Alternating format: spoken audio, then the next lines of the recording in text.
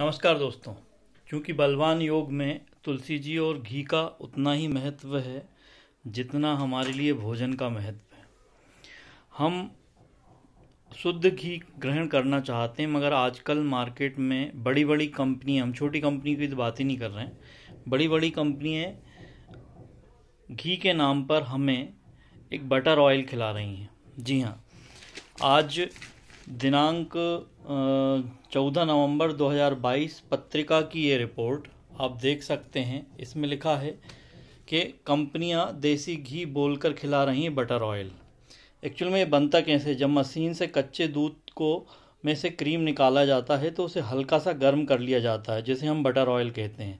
और यही butter oil को हल्के मध्य आँच पर तपाकर उसमें दाने तैयार होते हैं और उस दानेदार बटर ऑयल को ही ये बड़ी बड़ी कंपनियाँ हमें घी बनाकर बेच रही हैं जिसका कोई भी फ़ायदा नहीं है।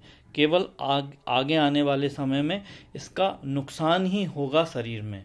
तो कृपया ध्यान दें संभल जाएँ सावधानी रखें और हो सके तो अपने घर पर बनाया हुआ घी ही खाएँ यही मेरी सलाह है। नमस्कार।